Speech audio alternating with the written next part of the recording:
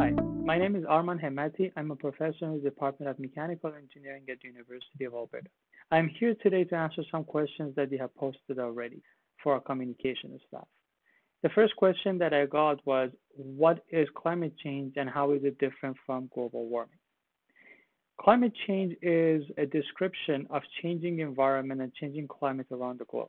It is a consequence of different effects within our planet. One of the main ones is the fact that the temperature of our planet is increasing. That is referred to as global warming.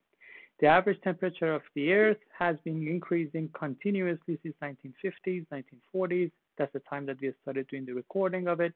And consequently, we would have melting of the ices on North Pole. And as a result of that, we have increase of colder stream in the oceans the interference of the cold and hotter streams in the oceans are changing.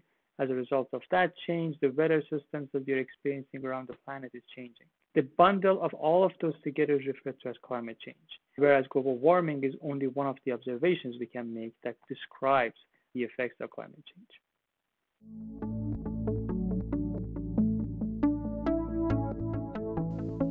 Thank you so much for watching Future Energy Systems Ask an Expert series. If you have your own question, submit it on our website. Make sure to subscribe so you don't miss any of our exciting content. Check out the links below to our website and learning page where you can find activities, learning extension, and more. You can also sign up on the website for notifications for future videos and interactive opportunities. There's so much to learn as we explore our energy future.